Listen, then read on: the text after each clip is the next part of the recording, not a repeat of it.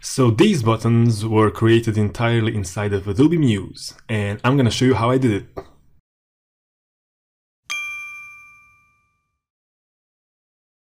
So the first thing you need to do is uh, drag in your empty composition and basically this is a composition that is completely empty. It's stripped of everything. It has no strokes, no fills, no nothing. So it's completely empty. The second thing you want to do is edit the options and the options are position is on stacked, uh, show target on rollover, transition has to be either on horizontal or vertical. Let's just put it on horizontal. Uh, the speed, it, it, depends on your preference. Point to is perfect, I think. Triggers on top, that is very important. And uncheck hide all initially. And those are the options. As you can see, we have a target window and a trigger window. Now, uh, let's place the target window somewhere we can remember it and create another trigger window. So we have two triggers and select the first trigger and while the first trigger is selected, select the target window. And basically this way, the first first one is selected, right? So let's make this a little bigger. Basically this is your button and add the fill to it. And now I'm going to add the text to it. Let's just say something like press me and let's make it a little bigger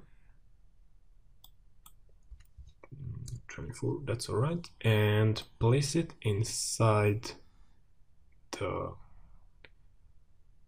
true target window mm, just uh, place it in the center like that and copy it. Now select the second trigger and select the target. Change its color to a different color or you can put the same color if you want but put something else then maybe an icon or different text and paste it in place. Now we have our two triggers and our two targets basically. So uh, you need to you need to take the second trigger window and place it exactly on top of your button.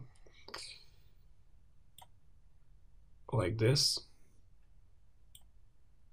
And basically what this will do is when you roll over the mouse it's going to transition to the red color.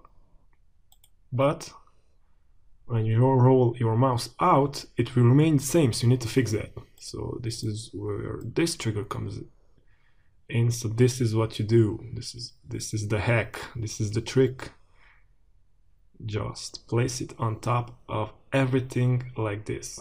And basically this is uh, below the first trigger. So what happens is when you roll the mouse out it's going to transition back so let's preview it whoop, whoop, whoop, whoop. as you can see it works perfectly now you might ask me, okay, that's really cool, but how do I make it rotate? Uh, how do I make it transition from the left instead of the right? And I'm just gonna copy it and paste it.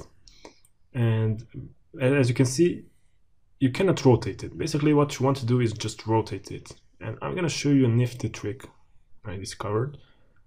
Basically what you want to do is drag in the empty, your empty state button and place everything inside of it.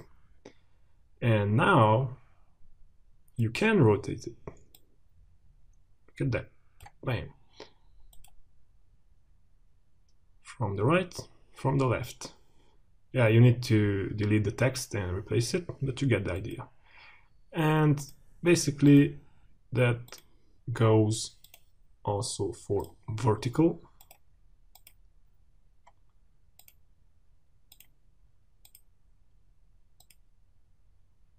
from the bottom from the top. Simple as that. So that's it for this tutorial, I hope you liked it. There's also giveaway going on, you can win an entire button pack for Adobe Muse, just check out the link in the description below. Also please subscribe, comment, like or do all of those three if you want more and I hope to see you next time.